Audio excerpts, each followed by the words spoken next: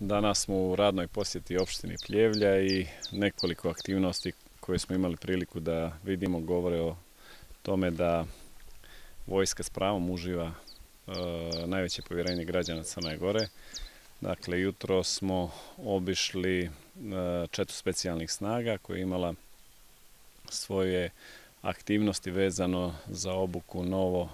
e, primljenih vojnika. Nakon toga smo u kasarni u Pljevljima eh, potpisali ugovor sa stambenom zadrugom odbrana na koju smo prenijeli zemljište odlukom vlade i već sada su se stvorili uslovi svi administrativni da eh, krene izgradnja te stambene zgrade koju smo najavili također negdje prije nekih 20 do mjesec dana. Siguran sam da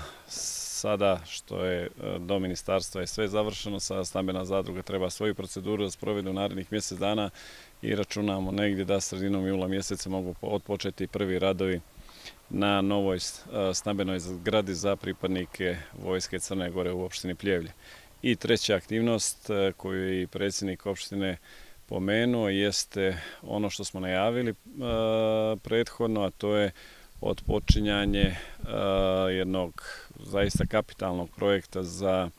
opštinu i ne samo opštinu, već za cijelu državu, dakle put Kosanica, Glibaći, Bobovo kao jedna e, dugo najavljivana aktivnost, ali sad su se stvorili svi uslovi i mi danas počinjemo izvanično radove u ovoj e,